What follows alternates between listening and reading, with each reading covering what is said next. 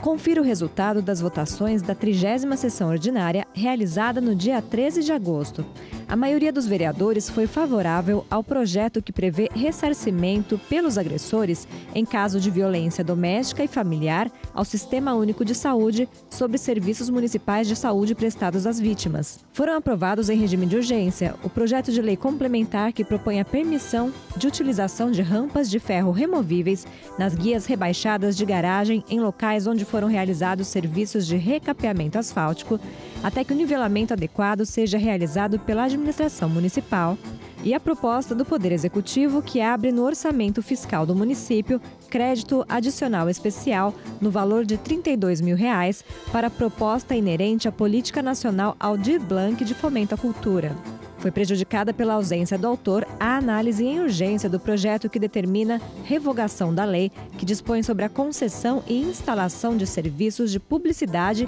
em mobiliário urbano. Foram aprovados ainda a proposta que diz respeito aos serviços de transporte por aplicativo em Rio Preto, para que haja pontos oficiais de embarque e desembarque de passageiros,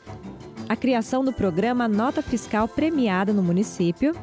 e o projeto de lei que obriga a notificação de motoristas cadastrados pelas empresas de transporte por aplicativo nos casos de descadastramento, suspensão e outras penalidades. O único veto na pauta foi rejeitado pelos vereadores, mantendo o projeto que assegura direito às gestantes de receberem repelentes para o mosquito Aedes aegypti nos postos de saúde do município. Todas as informações sobre as propostas que tramitam na Câmara você encontra no site do Legislativo. Basta acessar riopreto.sp.leg.br.